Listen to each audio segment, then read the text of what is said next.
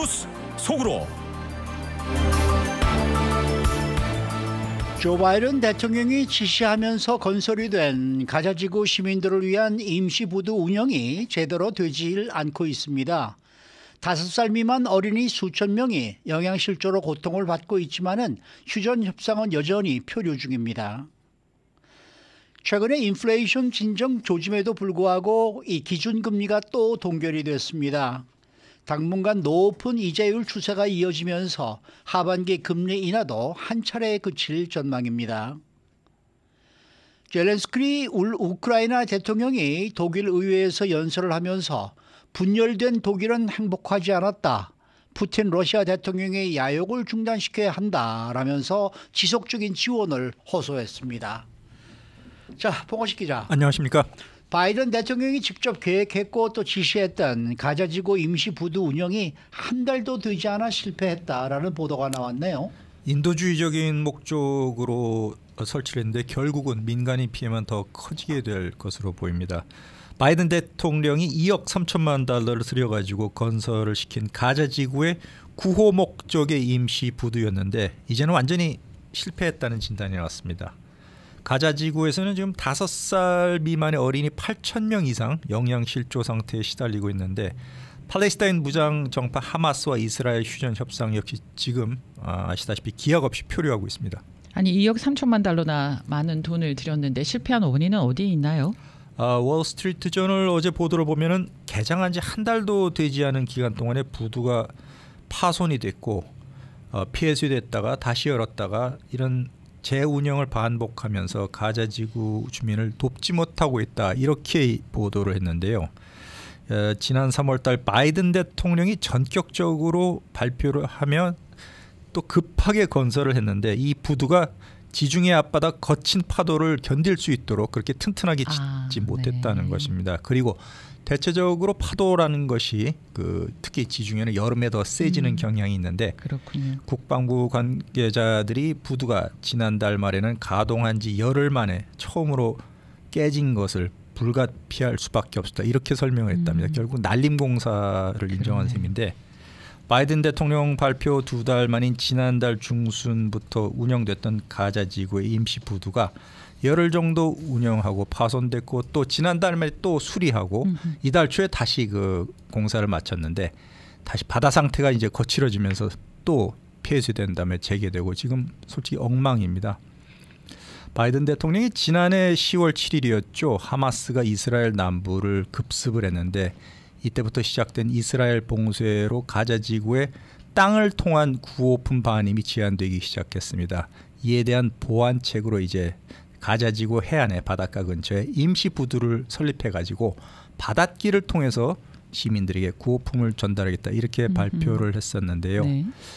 가자지구뿐만 아니라 미군들 항구가 제대로 갖춰지지 않은 해안 지역의 군수품 보급을 위해서 임시 항구가 애초에 어, 바다 물결이 심하면은 운영이 어려운 상태가 되는 것을 인지를 했는데 특히 지중해는 사, 어, 태평양부터 사정이 더 악화돼 있죠. 네.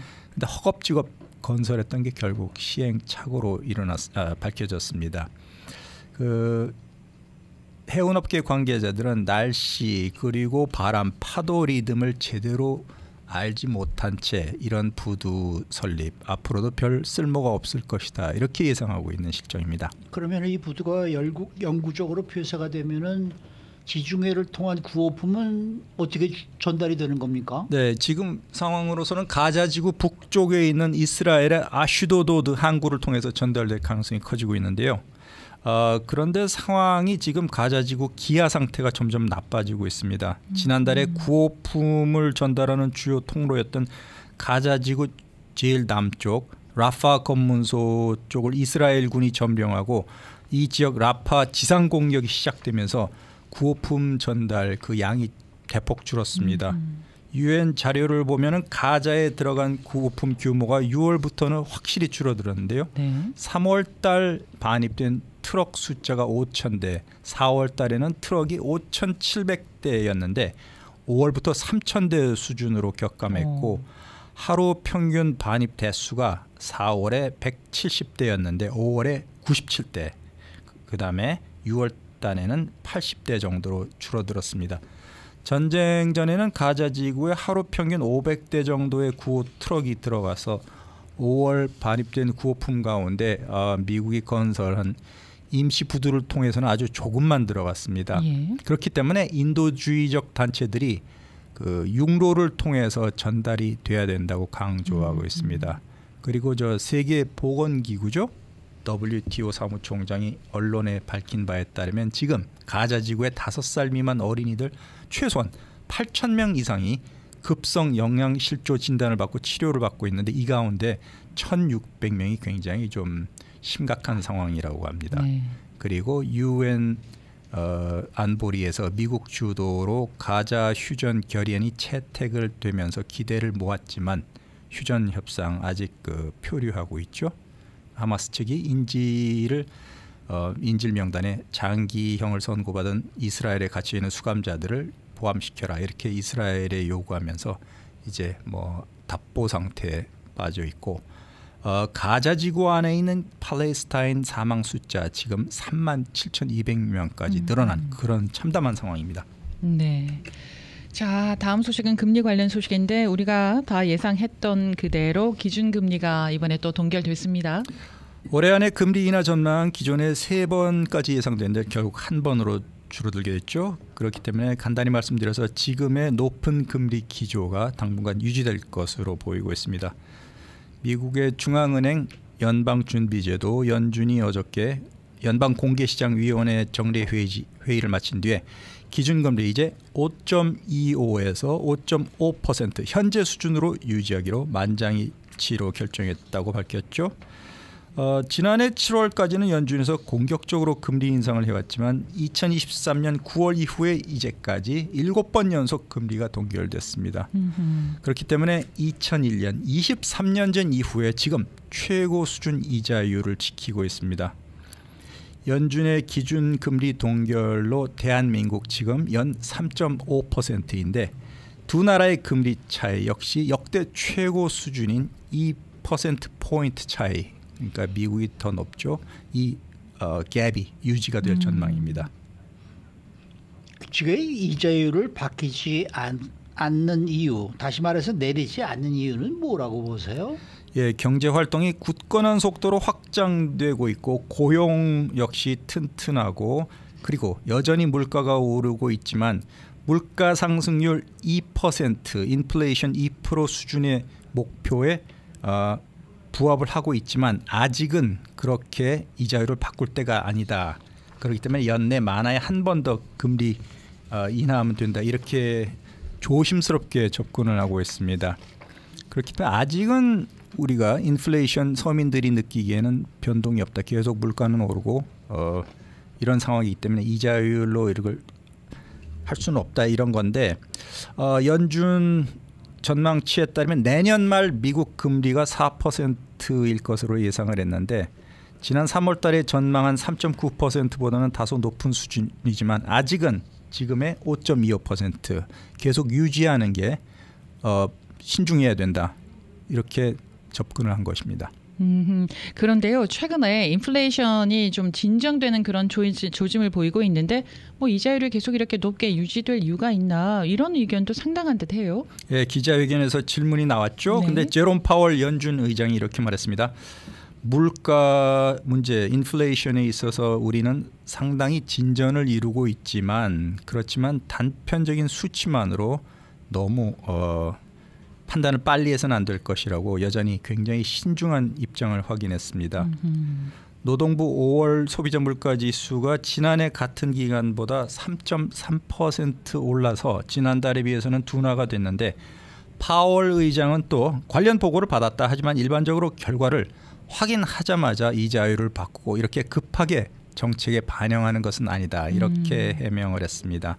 그리고 경제신문인 월스트리트 저널 보도에 따르면은 지금 인플레이션이 상당 부분 나아지고 있다는 지표에도 불구하고 연준이 금리 인하를 굳이 서두를 필요가 없다 이렇게 분석을 했습니다. 그렇기 때문에 연말까지 어, 한 차례 한 번만 금리가 인하될 가능성이 커지고 있고 물가 상승 역시 목표치인 2%대로 지속 가능하게 계속 어, 높아지지 않을 때 그때 금리를 낮출 것으로 보입니다. 뉴욕 타임스 역시 연준이 아직까지 매우 신중한 태도로 물가와의 전쟁에서 승리를 일찌감치 선언하는 것을 피하는 신중 모드로 어, 달리고 있다. 이렇게 보도했습니다. 네, 어제 제롬 파월 연준 의장의 발언이 있은 다음에 이 노동시장 그리고 주가 반응은 어땠습니까? 네, 전반적으로 코로나 팬데믹 이전 현상으로 돌아간 것으로 보입니다. 어저께 금리 동결이 발표된 직후에 대부분 주가가 기술주를 중심으로 올라갔습니다. 다우지수 평균만 35포인트 떨어진 38,712포인트를 기록했는데 반면에 스탠다드 푸어스 500 지수는 45.71포인트 올랐고 나스닥 지수 역시 264.89포인트나 올랐는데 두 지수는 모두 역대 최고치를 돌파했습니다. 경제 매체인 CNBC는 인플레이션이 지금 냉각 기미를 보이면서 시장은 긍정적으로 반응했다고 반응한다 이렇게 분석을 했습니다. 음, 네. 자 화두를 조금 바꿔보겠습니다. 반도체 그리고 생성형 인공지능 AI가 요즘 그 굉장히 떠오르고 있는데요. 기술주 말입니다. 기술주 강세가 앞으로도 계속 될까요? 어떨까요? 예, 요즘은 첨단 테크, 테크놀로지, 기술주 네. 이런 어, 말만 들리는데 네. 오픈 AI와 손을 잡은 테크 공룡 마이크로소프트죠. 그리고 애플 이 두 회사가 나란히 랠리 이어가는 상황입니다. 미국에서 기업 가치가 가장 높은 기업들끼리 경쟁을 하고 있는데 애플 주가 며칠째 큰 폭으로 상승세를 이어가면서 최고가를 썼습니다. 아마 한인 여러분들 가운데서 투자하신 분들이 많으리라고 짐작이 되는데 전날보다 2.86%나 급등해서 213달러의 장을 마감했고 애플 시가총액 지금 3조 2,672억 달러. 한 장중 한때는 주가가 마이크로소프트를 제치고 시총 1위까지 가기도 했습니다. 마이크로소프트도 역시 하루 사이에 주가가 1.94%나 오르면서 시총 1위 자리를 방어를 했는데 종가 기준으로 3조 2,781억 달러를 기록했습니다. 지난 1월 달에 마이크로소프트가 2년 만에 애플을 제치고 시총 1등으로 등극을 했고요. 기업용 소프트웨어 업체 오라클 유명한 회사죠. 주가가 140달러로 역시 13% 올랐고 하여튼 어, 이와 관련된 자세한 경제 소식 조금 뒤에 데일리 브리핑 순서에서 최운화 퀀텀 F&A 대표가 보다 상세히 전해드리도록 하겠습니다. 네. 최근에 다소 뭐 침체기를 겪고 있는 것이 아니냐 이런 진단이 나오고 있는 삼성전자.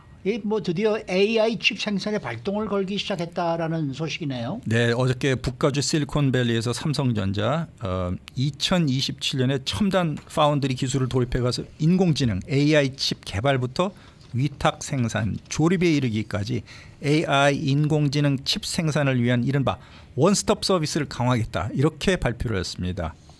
종합 반도체 기업으로 장점을 극대화시키고 지금 AI 열풍에 따른 칩 수요에도 적극 대응하고 세계 최대 파운드리 업체 대만의 라이벌 TSMC를 추격하겠다 이런 야심찬 계획입니다.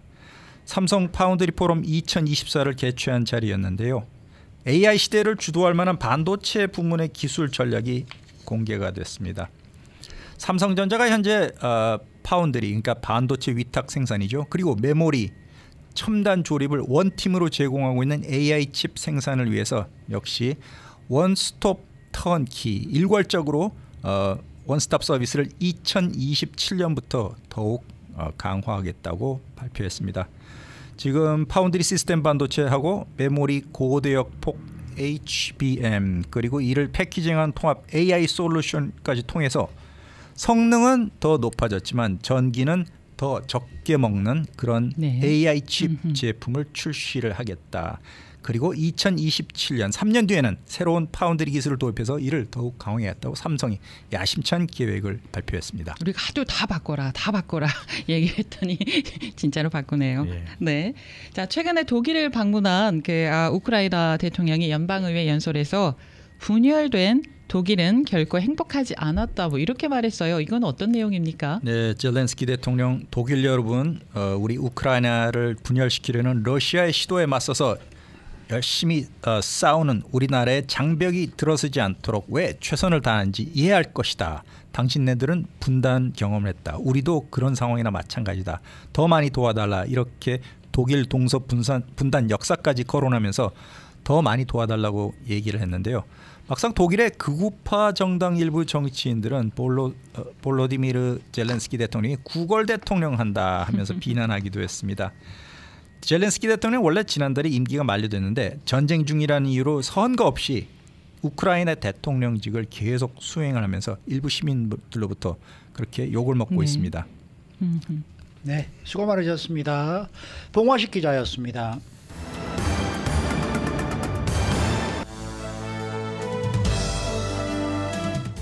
인사이드 아메리카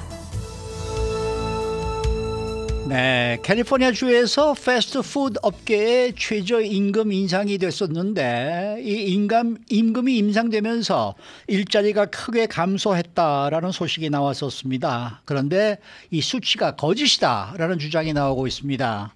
이런 내용은 LA 타임스 칼럼에 실려 있네요. 박경경 기자. 네, 안녕하십니까. 이 패스트푸드 고용과 관련한 소식부터 좀 알아보겠는데 지금까지 이 패스트푸드 업계 최저임금 인상이 업계에 미치는 영향을 뒤집는 그러한 내용이 새로 나왔네요.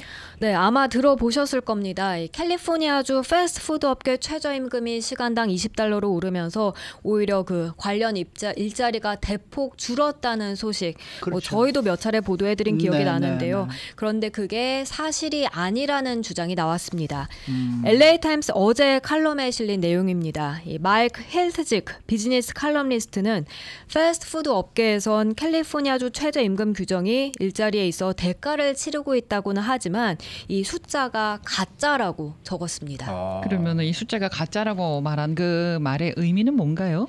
최근 패스트푸드 업계에서 감소한 일자리 수치가 구체적으로 제시됐었습니다. 만 개의 일자리가 음, 사라졌다는 소식이었습니다. 네. 그런데 이 숫자가 가짜라는 주장입니다. 음, 이 칼럼에선 최근 캘리포니아 비즈니스 산업 연합이 USA 투데이에 게재한 전면 광고를 통해서 지난해 9월 개빈 뉴섬 주지사가 그 관련 법안에 서명한 이후에 음. 캘리포니아주에서 약 만 개의 패스트푸드 업계 일자리가 사라졌다고 주장했다는 점 지적했는데요. 음. 그 광고에는 피자헛부터 시나본까지 모두 모두 12개 체인들이 나왔는데 이들은 실제 직원을 감원했거나 메뉴 가격을 인상했거나 또 그게 아니라면 그러한 조치를 고려하고 있다고 했고요.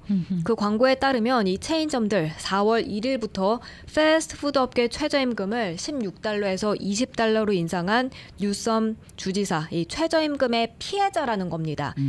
그러고 나서 이제 월스트릿저널, 뉴욕 포스트 이런 여러 비즈니스 매체와 보수적인 언론들을 중심으로 이 같은 패스트푸드 업계 최저임금 인상에 대한 비난이 퍼졌다는 게 칼럼의 주된 내용이었습니다. 음, 그 러면은 그 숫자가 가짜다라고 뒷받침 뒷받침할 만한 배경이 있는 거예요? 뭐 뭐예요? 네, 이 힐트직 칼럼니스트는요. 노동 통계국과 연방 준비은행이 추적한 바에 따르면 광고에서 밝힌 그 같은 기간 작년 9월부터 올해 1월까지 패스트푸드 업계 고용은 오히려 증가했다고 오, 밝혔습니다. 네. 따라서 감소했다는 주장은 정부 고용 수치에 대한 노골적인 허위 진술을 드러내는 것이라고 했는데요.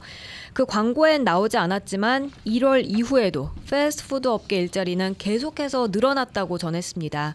지난 4월 패스트푸드를 포함한 서비스가 제한된 레스토랑 부문 일자리가 뉴섬 주지사가 최저임금 법안에 서명하기 몇 달 전이었던 2023년 4월, 그러니까 그 1년 전에 비해서 거의 7천 개 가까이 오히려 증가했다고 썼습니다. 음. 그런데 그 패스트푸드 업계에서 일자리 만 개가 줄었다고 했을 때도 거기에 대한 뭐 근거나 또는 그 배경이 있었을 거 아닙니까?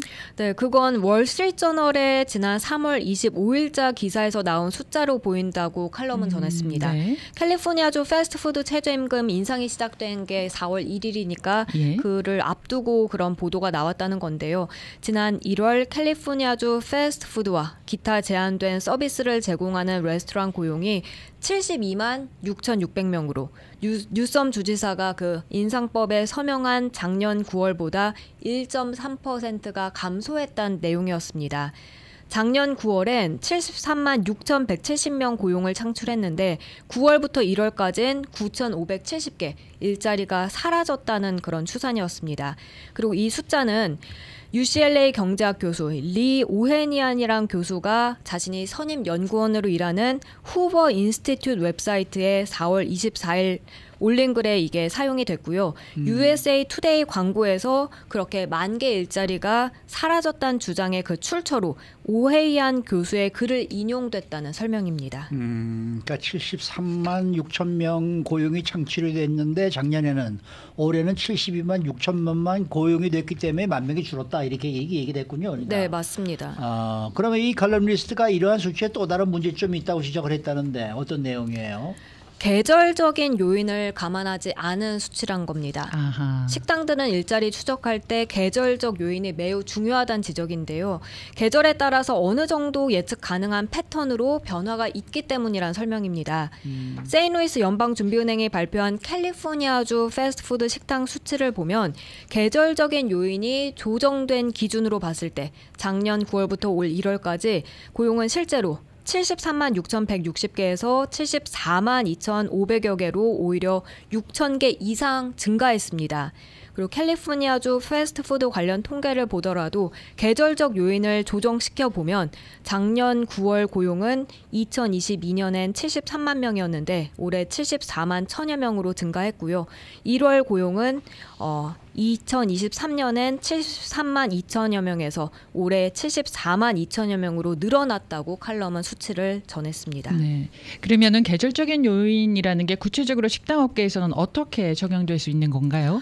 1년 중에 보면 4월에서 9월 사이가 가장 바쁜 시즌이라고 오, 어, 합니다. 네. 왜냐하면 Mother's Day와 Father's Day가 각각 5월, 6월에 그렇게 포함이 됐고요. 식당들에서 그런 날들이 가장 바쁘니까요. 거기다가 4월에서 9월 사이는 날씨가 좋은 편인데 날씨가 좋으면 또 외식을 더 자주 하게 되기 때문입니다. 그렇죠. 반면 11월에서 1월 사이는 식당들에서는 상당히 느린 시즌으로 꼽는다 하는데요. 추수감사절과 크리스마스 이런 날 여행 떠나면서 어, 주로 가족들이 집에서 요리하고 식사하면서 음. 시간을 보내는 경우가 많기 때문입니다. 네. 결국 식당업계 고용은 매년 9월에 최고조에 달하고 1월엔 급락하는 편이고요. 식당업계에선 이걸 모를 리가 없는데 음흠. 그런 수치를 발표했다고 이 칼럼리스트는 꼬집었습니다. 그래도 실제로 식당 업주들이 말하는 입장은 좀 다르지 않습니까? 네, 많이 다르죠. 업주들은 어, 수치를 떠나서 어려움을 많이 호소하는 편입니다. 인건비가 오른 그 비용 매우 부, 부담스럽다고 말하고 있는데요. 사실 이 칼럼리스트도 고용이 늘었다고 해서 그 인건비 부담이 적다는 건 아니라는 점 음. 전했습니다. 그렇지만 사실 식당에서 봤을 때 인건비 부담보다도 어, 식자재비 부담이 훨씬 음. 더 커졌다는 점 지적했습니다. 음, 근데 어쨌든 뭐 이번에 그 저 최저임금이 올라가고 난 다음에 가격은 많이 올라갔잖아요. 그렇죠. 음식 가격들은 많이 올라갔어요. 맞습니다, 맞습니다. 뭐 인앤아웃도 이번에 올린다면서요. In-N-Out도요. 네. 이거 뭐 이거 지금 지금 값이 올라가는 거는 뭐 말도 못 합니다. 네. 아이고. 안 먹을 수도 없고. 수고 많으셨습니다. 고맙습니다. 박현경 기자였습니다.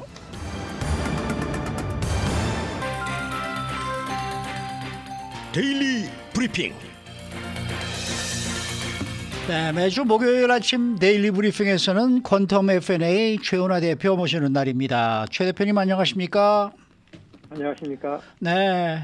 어제는 CPI가 발표됐고 오늘은 PPI가 발표가 됐는데 모두가 다 지금 기대보다는 좀 괜찮은 그런 수치가 나온 것 같습니다.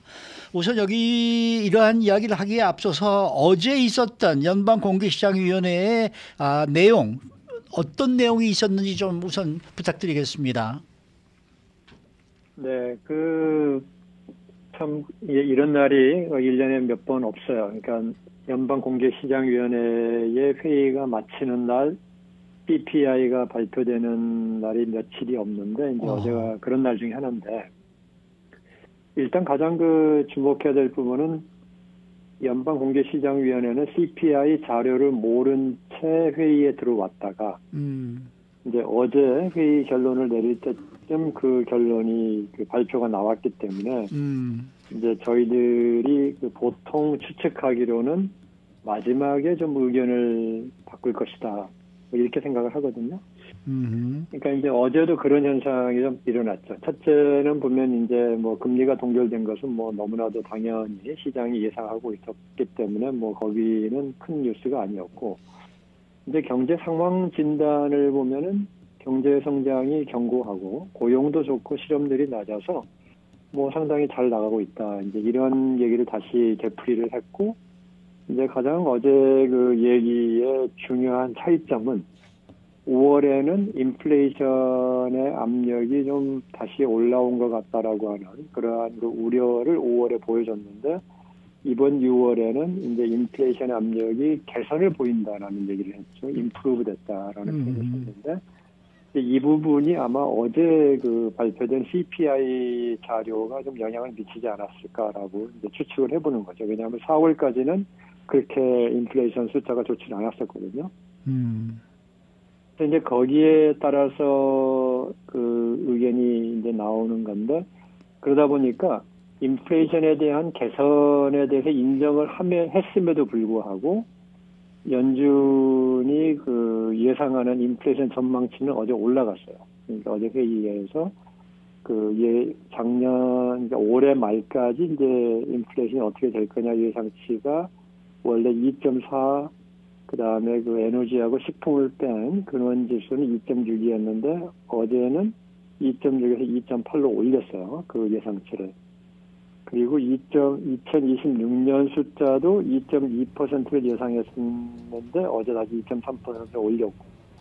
그래서 이런 내용들을 보면은 이제 연준의 입장은 지금 인플레이션에 대해서 상당히 긴장을 하고 있다 하는 모습을 지금 그 음. 어제 보여줬다 이렇게 할 수 있겠죠. 음. 그러니까 경제가 좋은데 인플레이션은 지금 계속 옆자리 걸음을 하거나 조금 오히려 더 압력이 올라간 것 같은 그 불안감이 금년도 1월부터 4월까지 있었는데 5월에 한 번의 숫자는 상당히 좋았다. 상당히 좋았어요 어제. 그리고 음. 오늘 PPI도 뭐 어제 CPI 못지않게 그와 비슷한 모습을 보였기 때문에 상당히 좋았다. 음. 그러나 이제 이것만 가지고 아직 우리가 인플레이션이 많이 둔화될 것이다라고 예상하기는 확인하기는 좀 어렵다. 이런 분위기를 어제 보여줬다. 이렇게 요약할 수 있겠습니다. 네. 그, 러면은 그 어떻게 보세요? 지금 어제 CPI, 오늘 PPI 모두 이렇게 좀 이게 기대보다 좀 좋은 수치로 발표가 된 것 같은데 물가가 잡히고 있다고 지금 보십니까? 어느 정도? 그 어제 그 자료를 보면 이제 가장 눈에 띄는 게 이제 에너지 가격이죠. 네. 음, 5월에 에너지 가격이 이제 4월까지는 에너지 가격 부분이 오히려 가격을 올리는 물가를 올리는 아, 아. 역할을 했는데 5월에는 물가를 떨어뜨리는 부분이 나왔기 때문에 이 부분 때문에 종합 물가 지수가 상당히 좋아졌고요. 변화가 음. 없었고 반면에 에너지하고 식품을 제외한 부분은 이제 0.2% 올랐기 때문에 이 부분도 좋아지긴 했지만 아직도 그 연율 기준으로 보면 3%가 좀 넘어 있어요. 음, 음. 그래서 현재 인플레이션이 좋아진다 하는 부분은 변동성이 높은 에너지 부분에서의 효과가 어제는 많았기 때문에 역시 그 파월 회장이 얘기한 것처럼 조금 더 봐야 되겠다라는 그런 음. 상황이다. 그 말은 쉽게 얘기하면은 어제 발표된 5월의 숫자가 추세를 의미한다라고 아직 단정하기는 어렵다라고 이제 해석을 할 수 있겠습니다. 음. 그런데 내년에는요 기준금리 인하 횟수를 네 번으로 늘려 잡았거든요. 여기에는 또 어떤 의미가 숨어 있는 겁니까? 어, 일반인들이 보시기에는 상당히 그 오해의 소지가 있죠. 예. 그러니까 금년도 원래 예상은 내년에 세 번 인하였는데 네 번이니까 인하 폭을 늘리는 게 아니냐는 건데 이것은 그렇게 해석하는 것보다는 금년도에 원래 세 번이나 내년도 세번 인하 쪽이 금년도를 한 번으로 낮춰지면서 이제 그게 내년에 네 번으로 올라갔다. 따라서 전체적으로 보면 여섯 번이 다섯 번으로 준 거죠. 아, 아, 아, 아. 예, 그렇게 보시는 것이 더 연준의 입장을 잘 반영한다. 그 말은 뭐냐면 어, 금년도에 세 번, 내년도 세 번에서 금년도 한 번, 내년에 네 번으로 가기 때문에 역시 금리 인하의 속도를 늦추겠다. 아. 더 뒤로 미루겠다 하는 것하고 금리 인하의 그 인하 폭도 더 줄일 수밖에 없지 않겠느냐라는 것이 이제 이 어제 점도표에서 나타난 그러한 숫자의 해석이라고 할 수 있겠습니다. 음. 그럼 네. 그러니까 어, 아까 말씀하신 대로 지금 어제는 공교롭게도 FOMC 회의가 끝나는 날과 CPI가 발표되는 날이 겹쳤단 말이에요.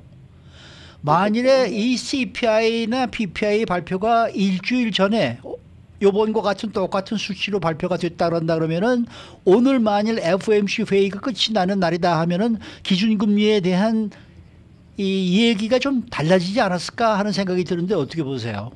뭐 그렇게 큰 차이가 없을 거로 봐요. 왜냐하면 어. 일주일 전에 나왔다고 해도 연준이 중요하게 생각하는 자료가 물론 CPI가 상당히 중요하지만 음. 연준은 그 물가 상승 지표에 있어서는 CPI 자료보다는 PCE라고 하는 물가 자료가 아하, 따로 있어요. 그러니까 그 부분이 확인되기 전까지는 연준이 CPI에 대해서 약간 유보적인 입장을 보여오거든요. 음. 그래서 일주일 전에 나왔다고 해도 별로 어제 발표하는 차이가 없었을 것이다. 왜냐하면 어제 본인들이 회의 시작하기 전에 CPI 자료가 나왔기 때문에 어, 어, 이미 어제 회의 때 상당 부분 다들 그 반영이 됐을 건데 음. 한 가지 차이점은 좀 서둘러서 했겠죠. 그러니까 그 일주일 전에 나왔다면은 음. 조금 더 생각을 많이 했겠지만 어제는 조금 빠른 그 반영을 해야 되는데 이 CPI가 갖는 비중이 아주 막대하지는 않기 때문에 이제 큰 차이는 없었을 것이다라고 이렇게 네. 그러니까 우리가 개인 소비 지출 PCE가 있고 소비자 물가 지수 CPI가 있잖아요. 네. 네. 이 둘의 상관 관계에 대해서 좀 알고 싶어요. 왜냐하면 지수가 발표될 때는 개인 소비 지출이 뭐 발표됐나 보다. 아, 소비자 물가 지수가 발표가 됐나 보다. 이렇게 생각이 되는데 이 둘의 연관 관계는 어떤가 그런 생각이 들어서요. 소비자 물가 네, 지수가 그 올라가면 상당히 네. 공부를 많이 해야 되는 많이 들여서 공부를 해야 되는 부분인데 네. 이제 근본적으로 큰 차이가 그 몇 가지가 있어요. 이제 첫 번째는 소비자 물가 지수는 베스켓 제도라 그래가지고 본인들이 측정하는 물건을 계속 똑같이 가격 추정을 합니다. 그러니까 따라다닙니다. 음. 그래서 이제 우리가 아주 그 극단적인 예를 들어서 사과 가격을 그 CPI에서는 어떻게 보냐면은 금년도 1월에 사과가 저희가 뭐 좋아하는 뭐 후지 사과가 있다. 그럼 후지 사과 가격이 하나에 뭐 50전이었다. 그러면 이 가격이 어떻게 변화되는가를 계속 똑같이 봐요. 음. 그게 이제 CPI 방식이라 그러면 네. PC 방식은 뭐가 있냐면 후지 사과가 1월 초에 50전을 했는데 네. 그게 3월이 되니까 2불이 돼버렸어요. 그랬더니 소비자들이 그걸 안 사 먹고 다른 값이 싼 사과로 바꿨다고 할 수 있잖아요. 예. 바꾸는 경우가 있어요. 그렇죠. 그러면은 그게 반영이 되는 게 PC 개인 소비 지출의 물가 지수에 반영이 돼요.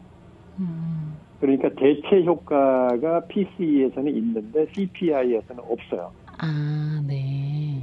그렇게 되면 어떻게 되죠? 물가가 오를 때는 PC가 덜 오르는 걸로 보이겠죠.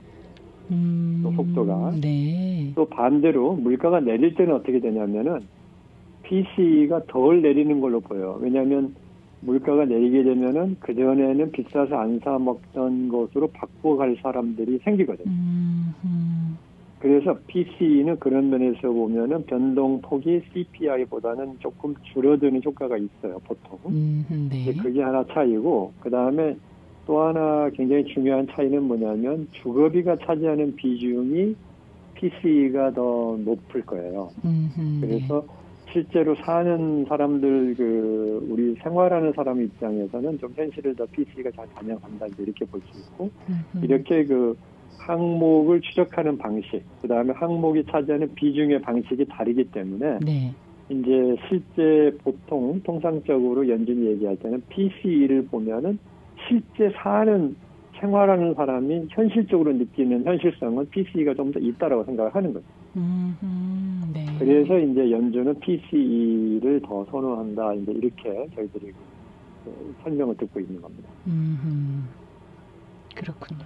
네. 아니 그 지금 오늘 아침에 또 한 가지 발표된 게 그 실업 저 저 지난주 실업 수당 청구 건수인데 이게 오늘은 좀 많이 올랐네요.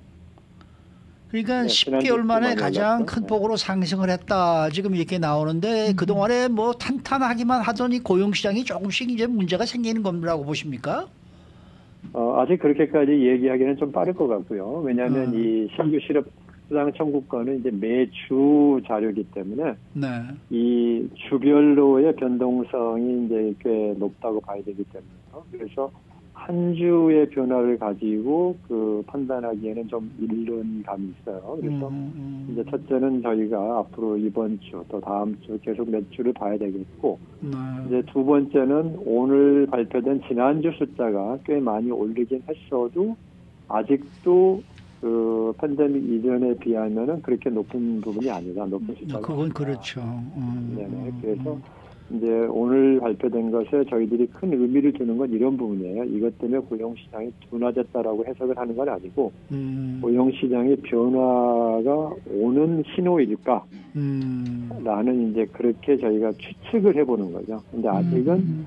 결론을 내리기에는 그 일주일 숫자기 때문에 조금 더 봐야 되고 네. 그다음에 이제 그 고용 시장이 아직도 전체적으로는 팬데믹 이전보다는 이 실업률, 실업자, 신규 실업자가 더 낮다 하는 점에서는 고용 시장이 그렇게 나쁘지는 않다 이렇게 음. 볼수 있겠습니다. 네, 음. 저희가 통상적으로요 경제의 그 흐름의 변화가 10년 주기로 온다. 주택값도 10년을 주기로 해서 올랐다 뭐 내렸다 이렇게 한다. 통상 그렇게 알고 있었거든요 그동안. 그런데 네. 요즘은 전혀 그게 해당이 안 된다라는 생각이 들어요. 그래서 요즘의 경제 상황에 대해서 도대체 어떻게 정리를 해야 될 건가? 궁금한데 전문가의 입장에서는 요즘 이 요즘 시점의 경제에 대해서 어떻게 정리를 할 수 있을까요? 그 상당히 그 여기 살아가는데 중요한 얘기가 될 텐데요. 네. 통계가 갖고 있는 가장 위험이 뭐냐면요. 네. 과거의 패런을 읽으면 그 패런에 대한 정확한 방정식을 만들 수 있어요. 과거는. 네. 그런데 자 그렇게 패런이 나왔다. 그런 유형이 나왔다. 그걸 미래에 적용하면 그대로 똑같이 된다 그러면 얼마나 좋겠어요. 네. 근데 그렇게 안 되거든요. 네. 그렇게 안 되는 것이기 때문에 저희가 언제나 그 주식시장을 얘기할 때도 그렇고 경제를 얘기할 때도 그렇고 과거에 이랬다는 것은 하나의 기준이 될지는 몰라도 그것이 절대적인 그 앞으로의 방향을 얘기해 주는 거라고 믿으시면은 안 된다라는 말씀을 드리는 거예요. 네. 근데 대표님, 그 전에 수십 년 동안은 수십 년 동안 통계를 보니까 거의 10년 주기로 바뀌어 왔는데 그 주기가 왜 하필이면 이 시점에서 새로운 변화가 있냐 이 말인 거예요. 아, 이렇게 얘기를 드려볼까요? 네. 저희가 지난 몇십 년간의 자료를 본 것이 사이클의 전부냐? 아니면 음. 경제 사이클은 큰 사이클이 100년, 200년이 있고 음. 중간에 중간 사이클이 있고 네. 안에 조그만 사이클이 있다. 이것도 경제학에서 이제 다루는 부분인데 네. 이렇게 보면은 지난 몇십 년간 예를 들어서 그 똑같은 유형이 반복이 됐다. 음.